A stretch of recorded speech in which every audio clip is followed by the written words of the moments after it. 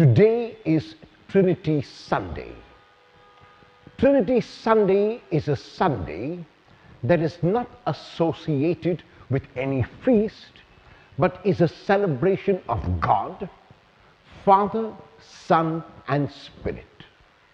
As Christians, we believe that God is three persons and one God. And of the many things that could be said about the Trinity, I will choose three for our reflection and their implications. The first is there is uniformity, there is unity in the Trinity. The Trinity is not God in isolation. The Trinity means that God is not an individual. The Trinity means that God is not separate, but God is united, God is community, God is three in one. The second aspect of the Trinity is that there is unity even in diversity. The Father is not the Son, the Son is not the Spirit, the Spirit is not the Father, and yet, though they are separate and distinct persons, there is a unity even in this diversity. And the third implication of the Trinity is that of the three persons, God sent the Son, visible, tangible, human in every sense of the word, to make God known. As Christians, we are blessed that we can talk about God who remains a total mystery because of Jesus.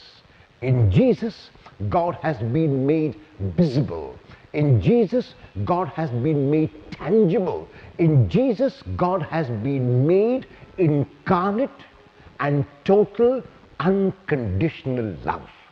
The love that Jesus showed is a love that is unconditional, a love that does not keep a record of wrongs or rights, a love that is given immeasurably, a love that is given constantly and perseveringly. It is a love that does not hold back, a love that does not expect us to do anything to earn it. It is a love that is given gratuitously. What are the implications of these three aspects of the Trinity for each one of us today? The first is that we are not individuals. We are part of a community living not only among ourselves, but living even in this beautiful universe. The earth is indeed our home. The earth has been given to us in trust by God, and we have to look after the earth as trustees. Sadly, we have destroyed the earth. Sadly, we have abused the earth. Sadly, we have treated the earth as nothing. And that is why there is so much of suffering in the world today because of the selfishness of a few. The haves seem to be getting more and more and more, and the have nots have nothing and even less than nothing. This is not the state of things as God intended. God created the world in order that we as individuals, as human beings, would look after it as if it were our home and would share whatever we have with others.